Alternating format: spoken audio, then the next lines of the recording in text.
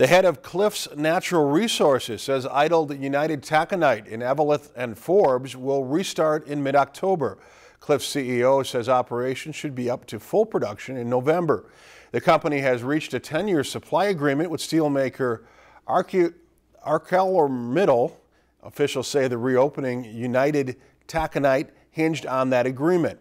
Cliffs plans to invest $65 million in the plant so it can produce a higher grade of pellets. The plant in Forbes and the mine in Eveleth were idled in August, putting nearly 500 people out of work. Now, union leaders say they are pleased to hear that United Taconite will resume production. If you've enjoyed this segment of Lakeland News, please consider making a tax-deductible contribution to Lakeland Public Television.